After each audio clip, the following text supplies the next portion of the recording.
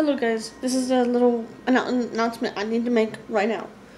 Do not bind with ace bandages. Do not do that. I just watched a, uh, I think it was a BuzzFeed video. Maybe it wasn't. I don't know, but it pisses me off. They had one of the trans male uh, people I, um, I'm my, whatever. And he was binding with ace bandages. Do not do that. Do not do that.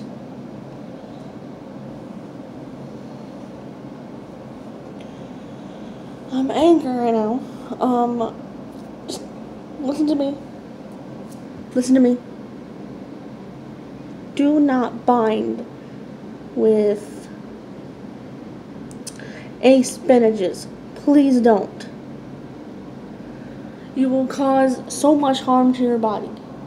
You will get bruises. You will you might break a um uh might break a rib. You might puncture your lung. You might do something really bad to yourself, to your body. Don't do that. either wear a very um,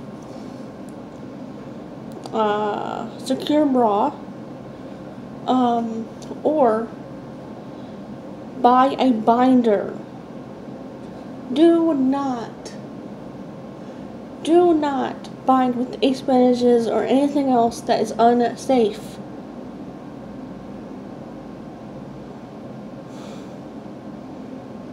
Don't even bind with the corset, if that's how you say it. I can't remember how, if that's how you, what you, called.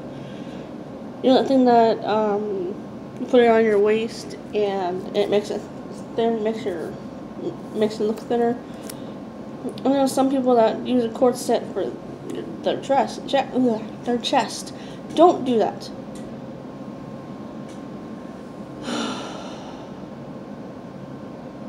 okay all I can say, please don't do that. That's all I gotta say, and goodbye, guys. Be safe, bind safely, please. I don't want you or anyone else to get hurt because you're, un you're not binding safely. I want your friends to get hurt because they're binding unsafely. If you find that someone's binding unsafely, please tell them to stop. And if you're unbinding safely, please, please stop. That's all I'm gonna say, and bye.